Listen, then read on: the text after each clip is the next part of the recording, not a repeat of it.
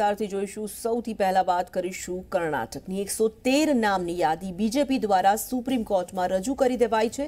પંદર અને સોળ મે રાજ્યપાલને મોકલેલ પત્ર પણ રજૂ કરાયો છે. ભાજપે નવ ટેકેદારના નામની યાદી સુપ્રીમ કોર્ટમાં રજૂ કરી દીધી છે, જેમાં કોંગ્રેસના છ, જેડીએસના ત્રણ ધારાસભ્યોના નામ યાદીમાં સામેલ હોઈ શકે છે.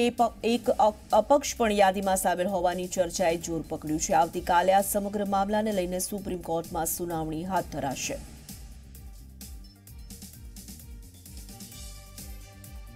તો ભાજપ દ્વારા યાદી જે છે તે સુપ્રીમ કોર્ટમાં નવ ટેકેદારોની જે યાદી છે તે જાહેર કરી દેવાઈ છે. કોંગ્રેસના છ નેતાઓનું નામનો તેમાં સમાવેશ હોવાની શક્યતા, જ્યારે જેડીએસના ત્રણ નેતાઓનું આ યાદીમાં સમાવેશ હોઈ શકે છે. એક અપક્ષનું નામ પણ આ યાદીમાં સામેલ હોવાની અટકળો હાલ તેજ બની રહી છે. તો હવે ભાજપને બહુમત સાબિત કરવાનું છે. તે દિશામાં ભારતીય જનતા પાર્ટી બિલકુલ આગળ વધી રહી છે અને જે રીતે નામની યાદી જાહેર કરી દેવામાં આવી છે, લાગી રહ્યું છે કે ભારતીય જનતા પાર્ટી બહુમત સાબિત કરી દેશે.